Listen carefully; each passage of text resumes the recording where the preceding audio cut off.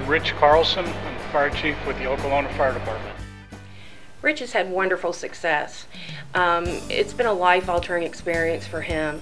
He wants to talk about it with anyone that he feels like will also benefit from the procedure. My weight was knocking on the door of 400 pounds.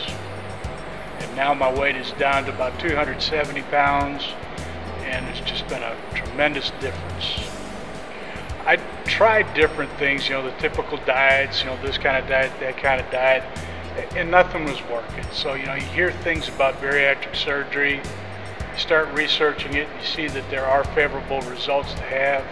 The adjustable gastric band is where we're actually taking a silicone band and putting it around the top of the stomach to create a small stomach pouch. It's purely a restrictive procedure, so it limits the amount of food that you take in at one time. Rich has done extremely well with his band. Uh, he is uh, down 120 pounds in just over a year. So he's doing exactly what he should be doing, is on the right track to get down to his healthy weight.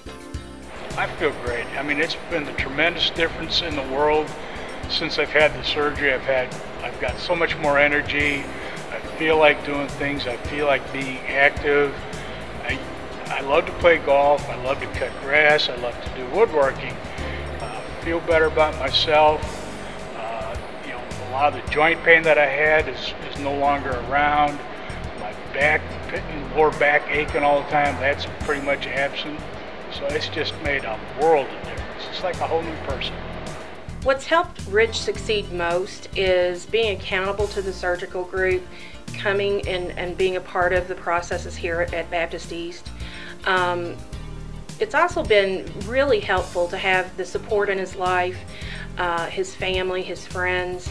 It's been so much fun seeing how much they love and see how much they care about him and, and his success. Almost on a daily basis, people are saying, hey, you're looking good, or wow, you've really slimmed down. And, you know, just almost everybody in my life makes note of it.